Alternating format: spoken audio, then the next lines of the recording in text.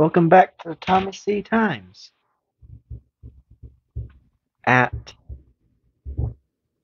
nine at ten o'clock.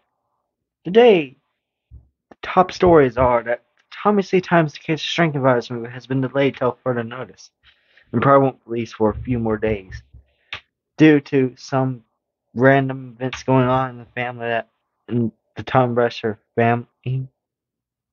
So Tom The Thomas C. Times, the case of shrinking virus has been delayed till further notice. But today, the other top stories is that there's it's going to be really hot in Thomas C. today. Now for the weather. The weather for today is a sunny with a slight bit of a heat advisory for the Thomas City County area.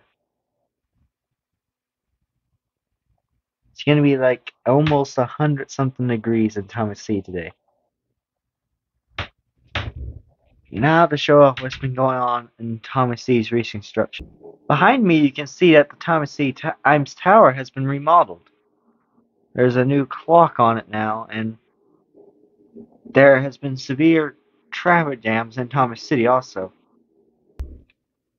On the main road in Thomas City, there has been a slight backup of traffic due to some construction going on in downtown Thomas City.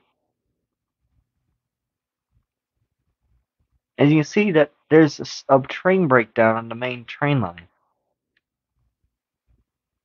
There's, as you can see behind me, there is a new interstate intersection along Highway 50 in downtown Thomas City. Have a good day and bye.